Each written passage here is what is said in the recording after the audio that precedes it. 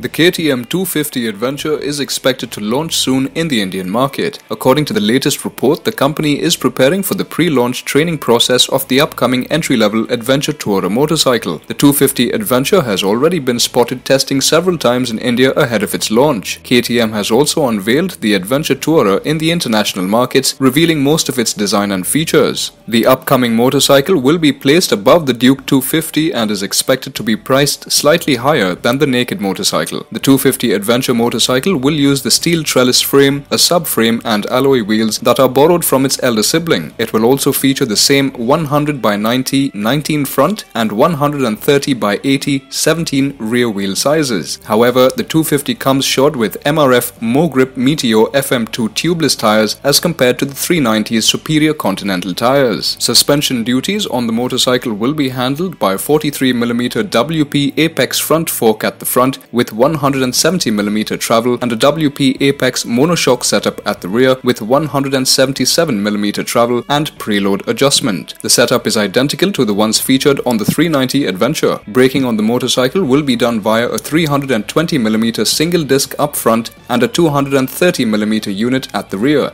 In terms of electronics, the 250 Adventure only gets dual channel ABS with an off-road mode which allows the rider to slide the bike. The 250 Adventure is also expected to feature the same TFT display for the instrument console borrowed from its elder sibling. However, the 250 Adventure will miss out on some features such as traction control, ride-by-wire and a quick shifter. Powering the entry-level Adventure motorcycle will be the same engine that is currently equipped in the Duke 250. The liquid-cooled single-cylinder 249cc engine produces a maximum maximum of 29.6 brake horsepower at 9000 rpm and a peak torque of 24 newton meters at 7500 rpm. The engine comes mated to a 6-speed gearbox. We expect the 250 Adventure to get the same engine in the same state of tune. Thank you for watching DriveSpark.